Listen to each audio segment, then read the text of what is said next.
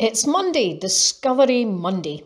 Your chance to find out about a place that you may not, like me, know an awful lot about.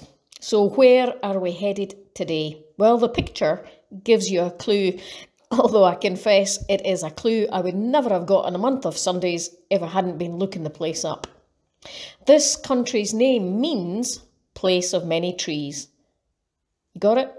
I'm mega impressed if you did go at the top of the class. But for those of us who are nearer the bottom, here is the general area. And the place of many trees is Guatemala in Central America. It looks fascinating. And of course, it's a place where Christian Aid is active. But your questions, can you remember them? Can you find out what the population of Guatemala is and the languages spoken?